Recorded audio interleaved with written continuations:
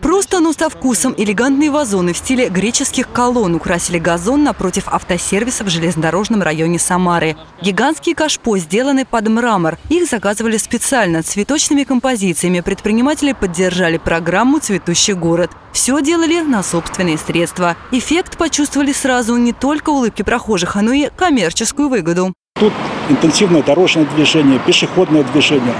Газон располагается между двумя этими маршрутами.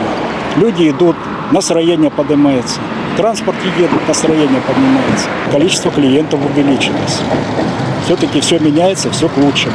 И автослесарям красота не чужда. За цветами ухаживают сотрудники сервиса. Полив, рыхление, подкормка. На зиму вазоны законсервируют, чтобы следующей весной вновь украсить улицы города. Уютную атмосферу тихого южного дворика создали владельцы кафе. Рядом со входом пруд, клумбы с экзотическими растениями, а стены укутывает виноград. Атмосфера приятная не только посетителям, но и жителям соседних домов. Участие в программе «Цветущий город» для предпринимателей и организаций стало своеобразной модой. В этом году число цветников, созданных на частные инвестиции в железнодорожном районе, увеличилось вдвое.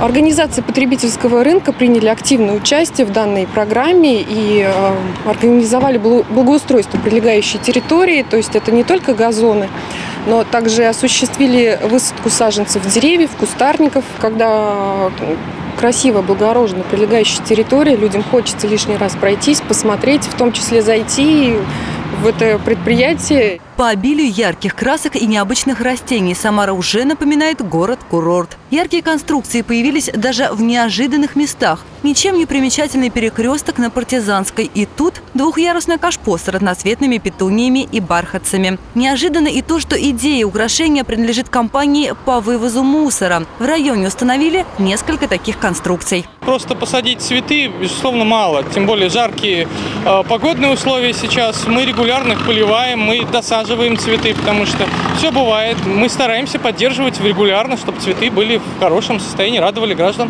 Площадь цветников, посаженных муниципальными предприятиями, в этом году увеличилась на четверть. Программа «Цветущий город» дала ей еще один положительный эффект. Рядом с яркими цветниками чистота и порядок. Красота дисциплинирует. И положительный пример заразителен. Предприниматели негласно соревнуются. Газон у чьих дверей будет самым красивым. А жители разбивают целые садики и цветущие луга у себя под окнами. Такая картинка просто не может оставить равнодушным. Марина Кравцова, Алексей Золотенков. События.